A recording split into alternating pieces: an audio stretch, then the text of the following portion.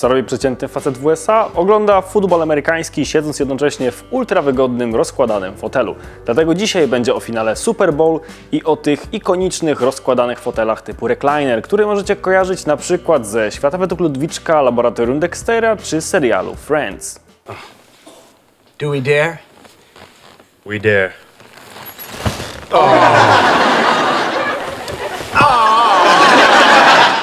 16 miliardów dolarów. Tyle w stanie rocznie jest wygenerować liga NFL jako całość, co plasuje ją na pierwszym miejscu, jeżeli chodzi o bycie najbardziej dochodową ligą sportową na całym świecie. W tym zestawieniu Premier League plasuje się na piątym miejscu, a UEFA Champions League dopiero na dziesiątym. Zwieńczeniem sezonu NFL jest finał Super Bowl, który rozgrywany jest od 1967 roku. W tym roku zmierzą się ze sobą Cincinnati Bengals, którzy nigdy wcześniej nie zdobyli tytułu, oraz Los Angeles Rams, którym udało się to jak dotąd tylko raz. Zasady futbolu amerykańskiego ogólnie rzecz biorąc są dosyć skomplikowane i zrobię kiedyś o tym osobny film. Dzisiaj skupię się na samym fenomenie finału Super Bowl ze względu na to, że jest on najbardziej oglądaną transmisją telewizyjną w Stanach Zjednoczonych. Rekord e, wszechczasów padł w 2015 roku, kiedy to oglądało go 114 milionów Amerykanów, czyli trochę ponad co trzeci Amerykanin. Jest to tak ważne wydarzenie, że z całej tej puli co trzeci Amerykanin urządza specjalne przyjęcie, na które zaprasza swoich znajomych, właśnie ze względu na to, że jest ten finał i jest to wystarczający powód do tego, żeby świętować. W trakcie oglądania finału Amerykanie wlewają w siebie hektolitry piwa, jedzą ponad miliard skrzydełek z kurczaka, tony guacamole, chipsów i popcornu. E, I ogólnie rzecz biorąc, to więcej jedzenia w całych USA je się w zasadzie tylko w święto dziękczynienia. No i jest jeszcze jedna ważna rzecz, która jest w finale Super Bowl, czyli tak zwany halftime show.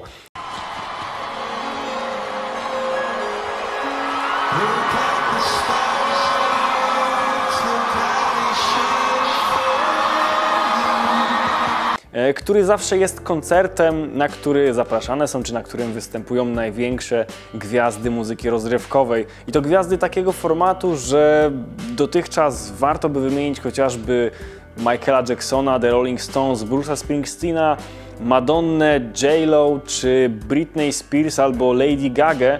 Wszyscy ci ludzie grali właśnie w przerwie meczu podczas finału Super Bowl. Oczywiście na przestrzeni wielu lat, nie wszyscy naraz, chociaż bardzo często jest tak, że tych artystów występuje więcej niż e, jedna gwiazda czy, czy jeden zespół. W tym roku na przykład line-up składa się z pięciu osób, głównie przedstawicieli i przedstawicielek muzyki hip-hopowej. Finał to również festiwal reklam telewizyjnych, które są przygotowywane specjalnie właśnie na Super Bowl i dla przeciętnego polskiego odbiorcy wydaje mi się, że najbardziej znaną jest ta reklama Snickersa. Sloppy, Mike, sloppy. Mike, what is your deal, man? Come on, man. You've been riding me all day. W 2010 roku wystąpiła w niej niedawno zmarła aktorka Betty White. Emisja reklamy, który w danym roku transmituje finał, jest najdroższym możliwym czasem antenowym do pokazania czegokolwiek. Mniej więcej za 30-sekundowy spot obecnie trzeba zapłacić ponad 5,5 miliona dolarów, a to jest tak naprawdę tylko i wyłącznie kwota za sam czas antenowy, a co dopiero jeżeli dorzucicie e, produkcje reklam, które bardzo często są wysokobudżetowe. Choć historia zna przynajmniej jeden taki przypadek, kiedy masa firm skrzyknęła się razem i zrobili jedną 30-segundową reklamę, której koszt podzielili na przykład na 10 różnych przedsiębiorstw. I wiecie co? I wyszło to całkiem spoko. Wysoki poziom oglądalności i swego rodzaju prestiż oczywiście mają zrekompensować wszystkie te koszta poniesione e, w przypadku tej reklamy. Plus jest dodatkowa rzecz, że one stoją naprawdę bardzo często na wysokim poziomie i jeżeli przypadną ludziom do gustu, no to później nabijają kolejne miliony darmowych w zasadzie wyświetleń, chociażby na YouTubie, gdzie rokrocznie przygotowywana jest kompilacja najlepszych reklam z Super Bowl. Do finału wrócimy za chwilę, bo zanim przejdziemy do oglądania bardzo często ponad 3-godzinnej transmisji, to musimy się przecież bardzo wygodnie rozsiąść. I tak samo myślą niesamowicie wygodni Amerykanie, których standardowo męska część populacji na tę okazję wybiera swój ukochany fotel, tak zwany recliner, który kojarzyć możecie z tego charakterystycznego rozkładanego podnóżka oraz tego, że oparcie odgina się do tyłu. Historycznie pierwsze projekty tego typu foteli przypisuje się Francuzom i podobno jeden z pierwszych egzemplarzy należał do Napoleona III, Amerykanie nie tylko więc statuę wolności i denim zawdzięczają Francuzom, ale również te niesamowicie wygodne fotele. Ich amerykańska historia na dobre rozpoczęła się w 1928 roku wraz z założeniem firmy Lazy Boy, która jest najbardziej znaną firmą produkującą reclinery. Zresztą bardzo często jej nazwa jest używana jako synonim, nazwa taka ogólna na ten typ foteli. Reclinery towarzyszyły wielu amerykańskim prezydentom, w tym m.in. Lyndonowi Johnsonowi, który podobno w ramach prezentu świątecznego dostał od Secret Service 50 sztuk tych e, foteli.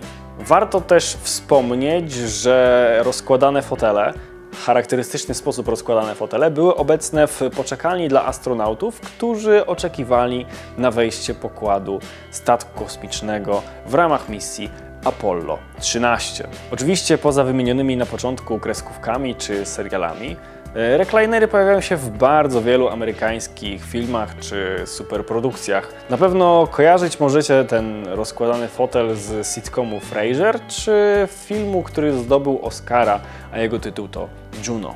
W zasadzie to nie ma sensu zastanawiać się nad przyczyną ich popularności, no bo są one po prostu szalenie wygodne. Stanowią prywatny tron i zajmują zaszczytne miejsce przed telewizorem, które standardowo według tego starego e, modelu przynależą do głowy rodziny. I zapytajcie dowolnego Amerykanina, z czym kojarzy im się fotel z rozkładanym podnóżkiem. Gwarantuję Wam, że zasypią Was serią bardzo podobnych takich prywatnych, rodzinnych historii, w których po jakimś e, rodzinnym spotkaniu, na przykład po, po święcie dziękczynienia, czy każdej jednej dowolnej większej imprezie, gdzie starsi faceci z rodziny gromadzą się w salonie, tam stoją bardzo często nie jeden, czasem dwa, a nawet trzy reclinery, bardzo często mocno już wysłużone i zalegają w nich, żeby odpocząć. Oczywiście wszyscy wiedzą, że oni za chwilę pójdą spać, ale oni mówią, że nie, dadzą tylko na chwilę odpocząć oczom i mimo całego tego hałasu, który generuje kilkanaście czy kilkadziesiąt osób nawet, które są w domu, e, ci goście często po kilku minutach chrapią. To jest też e, bardzo często taki e, charakterystyczny element memów związanych ze stereotypowymi amerykańskimi ojcami. A jeżeli chcielibyście znaleźć dla siebie taki idealny, stereotypowy, niesamowicie wygodny amerykański fotel, to poza firmą Lazy Boy warto zwrócić uwagę na takich producentów jak Ashley, Flex Steel, Franklin i Software Motion. Wróćmy jeszcze na chwilę do futbolu amerykańskiego. Dlaczego Amerykanie kochają go tak mocno? Nawet bardziej niż baseball, który przecież określany jest mianem ich narodowego sportu. Tutaj myślę, że ważne jest to, żeby powiedzieć, że poza ligą NFL niesamowicie dużą popularnością cieszy się też futbol uniwersytecki. Jeżeli chodzi o podział popularności, to NFL jest dużo chętniej oglądane przez mieszkańców wschodniego wybrzeża i osoby, które zamieszkują tereny wiejskie czy takie małe miasteczka, ale raczej w północnej i centralnej części kraju. Natomiast na południu i przez osoby, które ukończyły studia albo są w trakcie edukacji wyższej, właśnie dużo bardziej popularny nawet niż NFL jest ten futbol uniwersytecki. Zresztą na głębokim południu, szczególnie w Alabamie, niedzielny mecz jest traktowany na równi, jeżeli chodzi o poziom istotności, o ważność z niedzielnym wyjściem do kościoła futbol amerykański odgrywa tak dużą rolę w amerykańskiej kulturze, że finał Super Bowl jest uznawany za święto narodowe, a w stanach takich jak na przykład Teksas, szczególnie Teksas, bardzo często futbol amerykański porównuje się do religii, jeżeli chodzi o pewną taką nabożną wręcz cześć, którą się e, przykłada, czy, czy z którą się traktuje te rozgrywki. Futbol tradycyjnie łączony jest też z różnymi innymi świętami, które standardowo wypadają w kalendarzu. Na przykład 1 stycznia, w dzień Nowego Roku, tradycyjnie rozgrywana jest cała masa meczy czy pomniejszych finałów, tym bardzo znany Rose Bowl, które związane są z futbolem na poziomie tym college'owym czy uniwersyteckim.